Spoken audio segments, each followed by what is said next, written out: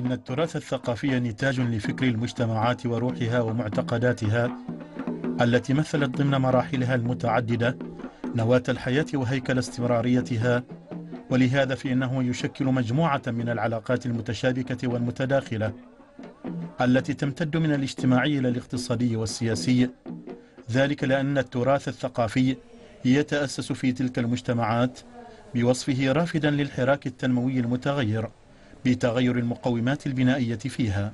التنمية المستدامة أو التراث الثقافي غير المادي يتقاطع في كثير من الأمور ولنا أعتقد أن متى ما وجدت الآليات والبرامج الصحيحة آه، لتوظيف التراث الثقافي غير المادي في التنمية المستدامة أو مشاريع التنمية المستدامة آه، راح ولا شك يحافظ ويساهم في آه، عمليات صون التراث الثقافي غير المادي. التراث في عام التراث. حلقة العمل الدولية في التراث الثقافي تتناول في طياتها أربعة محاور حول التجارب الدولية والمشروعات البحثية في التراث الثقافي والتنمية المستدامة ومسودة استراتيجية برنامج التراث الثقافي العماني.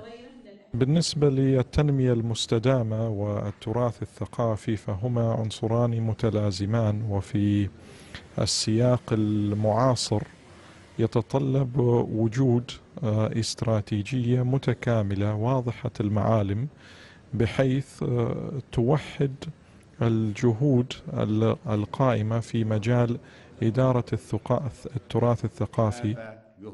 الجانب الفني في التراث الثقافي يقوم بدور مهم في ترسيخ إنتاج البحوث العلمية وذلك من خلال تحويل المعلومات البحثية إلى أعمال درامية. هذه الندوة كان هناك سؤال مهم جدا يطرح في حينه. ماذا سيكون بعد هذه الندوة أولا؟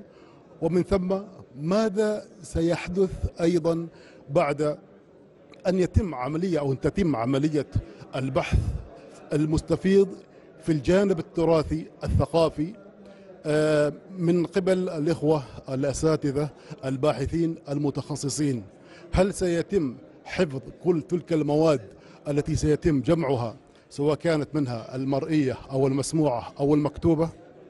وتشهد حلقة العمل الدولية للتراث الثقافي والتنمية المستدامة حضورا واسعا من الخبراء والمختصين في التراث والثقافة من داخل السلطنة وخارجها.